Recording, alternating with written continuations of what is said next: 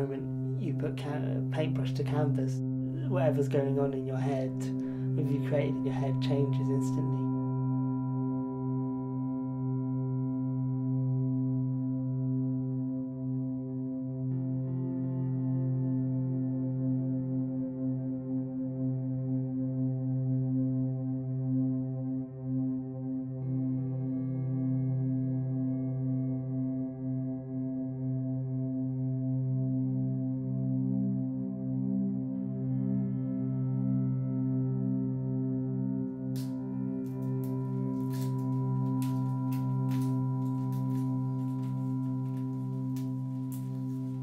Sometimes the best paintings happen accidentally or interestingly I might paint over a picture because I don't like it anymore and then what I create afterwards just comes out so much better.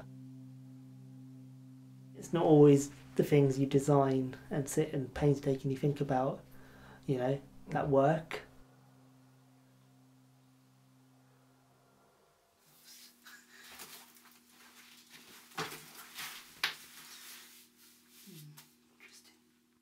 with any picture, um, I always prime my canvases first. So usually, you know, by default, I'm priming them white and then painting on top of that. Um, but with this, for example, you know, it started off white and then I've put a few base colours on and yeah, it acts as a primer because for me it's like, it's, it's an underlayer, it's a starting point.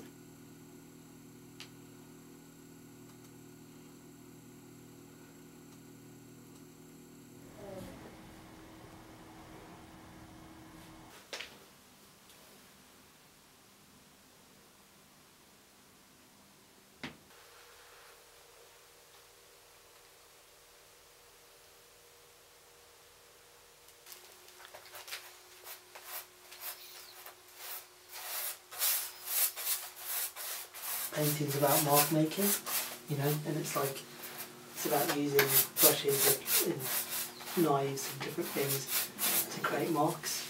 Um, you know, and it's not so prescriptive, and that's one of the things I love about painting, or the way I paint.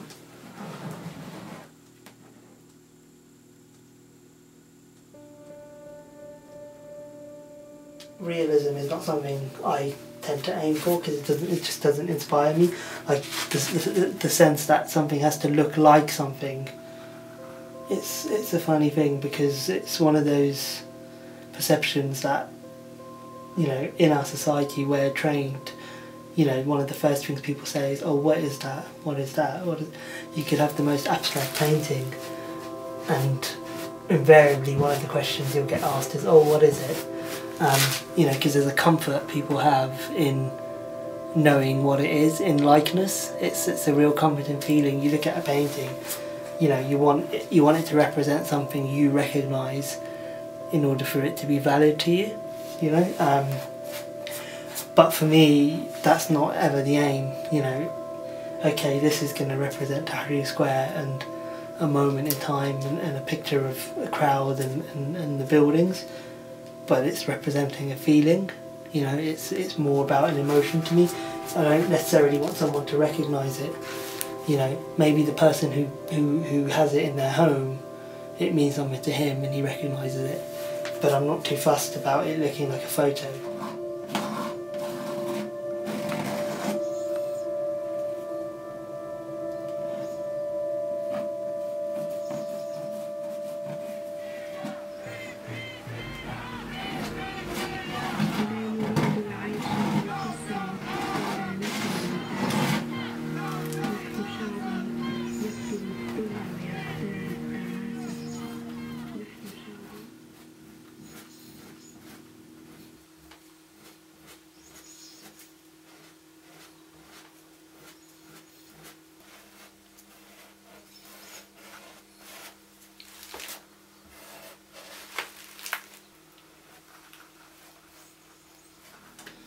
When you paint, why paint if, if, if you're if you're not experimenting, if you're not learning, if you're not trying something new, you're just completely in your comfort zone. I've learned not to restrict myself to be, you know, so prescriptive as to how I want it to look.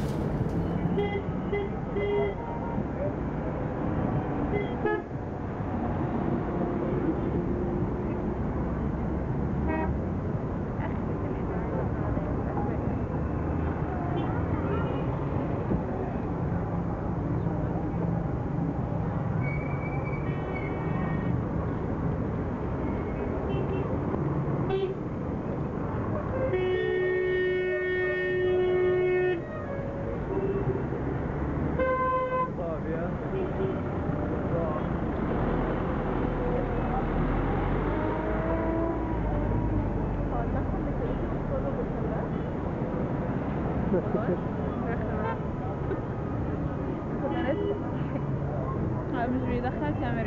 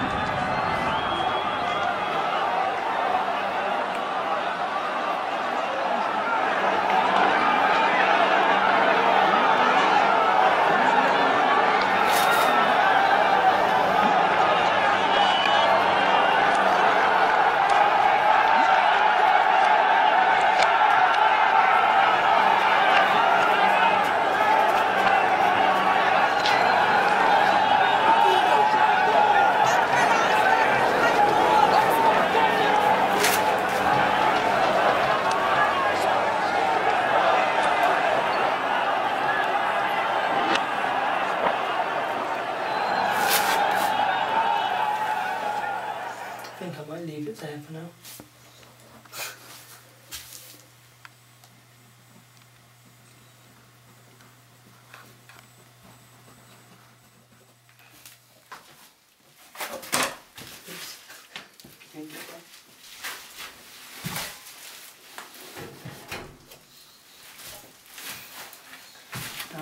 Have a proper look at it.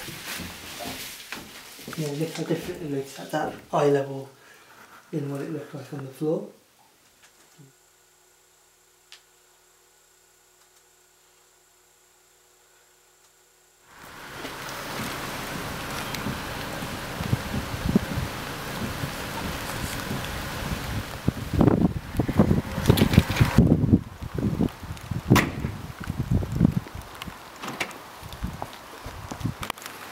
Wow. So that's a bit wider than I thought.